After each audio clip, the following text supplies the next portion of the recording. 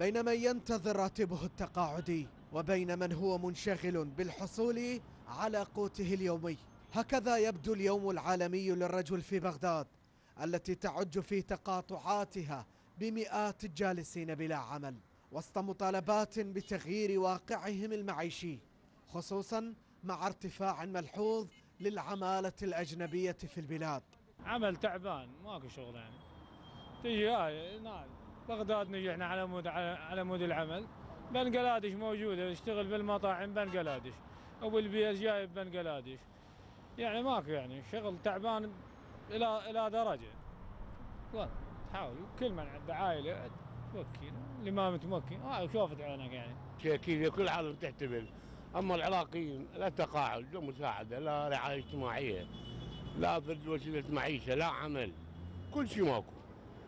يعني إحنا بالعمر هذا تقاعد ماكو. وين تروح؟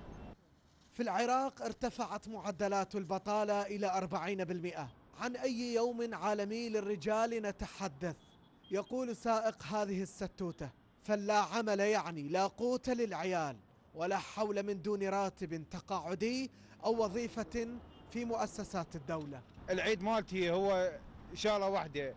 أجيب رزق, رزق لعائلتي وأشتغل بستوتي. ها هي. ما عندي غير هذا الشيء. أنا هذا عيدي وهذا مناسبتي أن أعيش عائلتي. آه، بالنسبة ليوم الرجل العالمي هموم الرجل العراقي أنه كلش هواي. يعني تجسد أنه الواقع شوية صعب والظروف الصعبة اللي مر بها العراقي. يعني تحتم عليه أنه يختلف عن باقي. بينما يحتفل رجال العالم بيومهم ينشغل العراقي بكيفية الحصول على حق الصحة والتعليم وغيرها أو بالبحث عن مشاريع التمكين وكذلك المنح والقروض التي تتعلق بالمشاريع الصغيرة والمتوسطة. للشرقية نيوز خطاب عادل بغداد.